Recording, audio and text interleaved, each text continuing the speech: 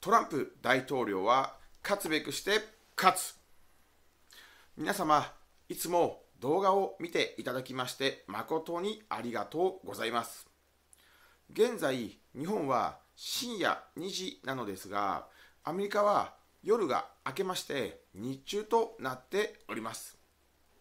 早速トランプ大統領自らツイッターで最新情報をツイートしております。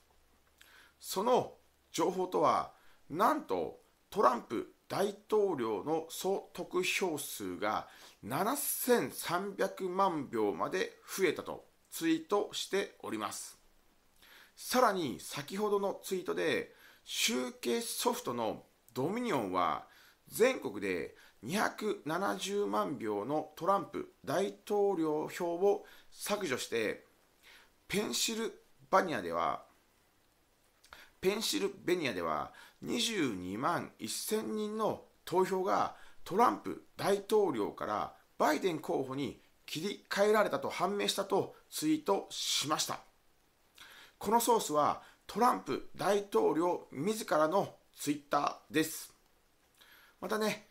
トランプ大統領のツイッターは登録しても英語でわからないということが多々あります。ここでね、えー、耳寄りな情報なのですが、えー、なんとね、えー、自動で日本語に翻訳されたツイッターアカウントがありました。以前もお伝えしたのですが、もう一度ね、お伝えさせていただきます。そのアカウント名は、ドナルド・トランプ翻訳で検索していただくと出てきます。ぜひね、一度見ていただくと、えー、便利な、えー、便利だなと思っていただけると思いますので、えー、ご覧になっていただけたらと思います。また、トランプ大統領はツイッターで結果は来週になるというツイッターをしておりました。例えば、ジョージア州では手作業で集計しているため、11月20日までに集計を終えるめどになっております。まあ、そんな中ね、えトランプ大統領のツイッターでね、え最新情報を、えツイートえしていただいているのはね、本当にね、え頼もしいことだと思います。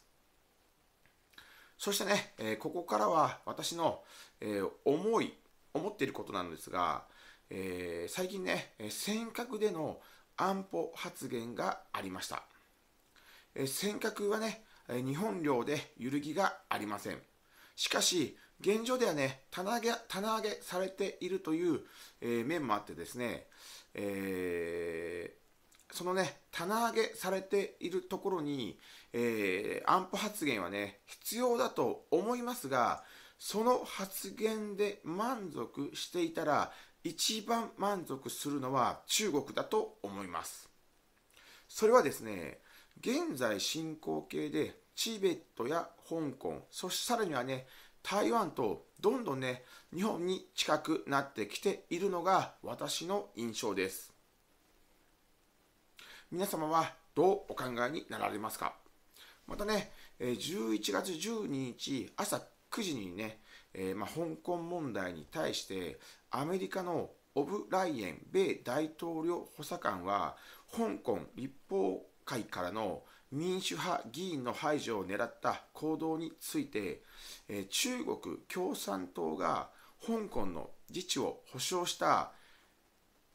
英中共同宣言に基づく国際的義務にあからさまに違反していることは疑う余地がないと強く非難しました。私もね、えー、そう思います。また、トランプ大統領が満足、動けないうちに行動したと私は思っております。以前もお伝えしましたが、アメリカは世界の警察官と言われていたり、えー、言われているという、えことがありますが、私はトランプ大統領こそが世界の警察官だと確信しております。まあ、このことについてもね、皆様はどうお考えでしょうか。また、フェイクニュースや変更報道は誹謗中傷だとも考えております。そして、この誹謗中傷といえる変更報道をぶっ潰さなければいけません私は今後もトランプ大統領を応援してそしてトランプ大統領の正当性を訴えていきます変更報道をぶっ壊していきたいと思いますので今後ともよろしくお願いいたします。そしてねぜひねいいねとチャンネル登録もよろしくお願いいたします。最後まで見ていただきまして誠にありがとうございます。トランプ大統領は勝つべくして勝つということでありがとうございます。失礼いたします。